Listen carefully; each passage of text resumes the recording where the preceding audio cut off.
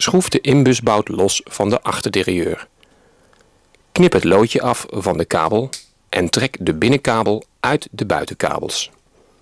Draai de afdekschroef uit de trigger en zorg wel dat de derieur altijd in de laagste versnelling staat. Trek de kabel nu helemaal uit de trigger en gebruik een nieuwe binnenkabel.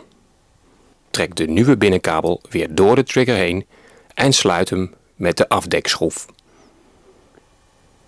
Trek de binnenkabel nu door de buitenkabels heen en zorg dat de buitenkabels goed op hun plek vallen in de stops. Plaats de rubbertjes terug op de binnenkabel om rammelen en beschadigingen aan je frame te voorkomen. Tot slot trek je de kabel in je derailleur en schroef je de inbus stevig vast terwijl je de kabel op spanning houdt. Knip de kabel kort en plaats een nieuw loodje op het uiteinde.